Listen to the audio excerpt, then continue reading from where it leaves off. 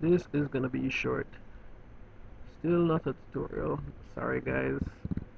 Um kinda got carried away doing this little critter right here.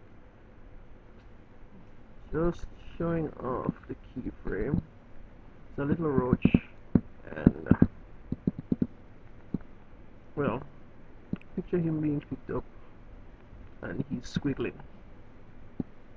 Yeah I don't know why this this, this idea came to me um, actually well I do but it's not the animation I was supposed to be working on but it's the animation I ended up working on.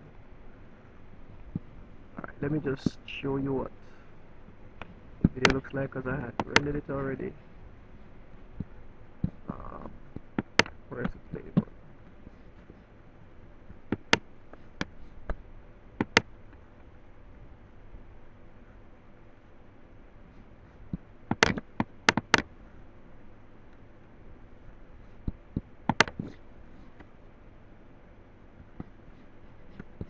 Yep, that's him. Roachy. Yep, anyway. I'm out, guys. This is just late night idleness.